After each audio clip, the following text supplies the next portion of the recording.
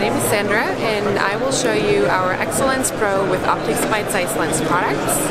Um, we have three lenses, um, a telephoto, a wide angle, and a macro for close-up photography.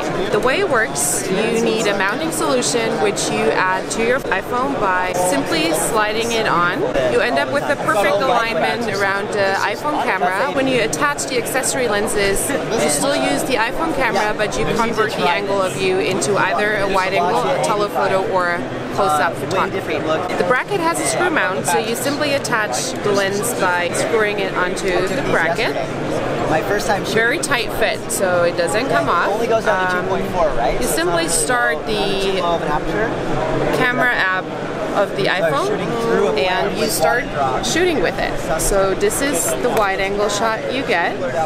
Um, it's a 18 millimeter equivalent. The telephoto is a 56 millimeter equivalent. You simply swap the lenses. So yeah, 85. This is the shot you end up getting with the telephoto. 56 millimeter equivalent. Um, it does create a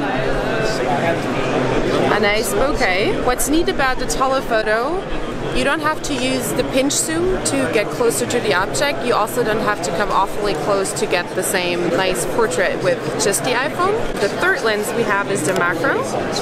This is for close-up photography. So we're going to be using the one dollar bowl. So this serves as a spacer. This is why it's semi-transparent. So you can actually set it down and then you turn the ring in order to focus. So let's see.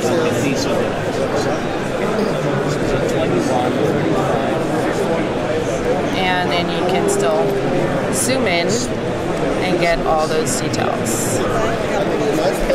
Can I see 35 and 50? The bracket has a standard tripod mount, so you can easily attach a tripod. It also comes with a standard cold shoe mount, so you can attach an external light or an external microphone, for example. We just announced a new mounting solution that serves as an alternative to the bracket we have right here.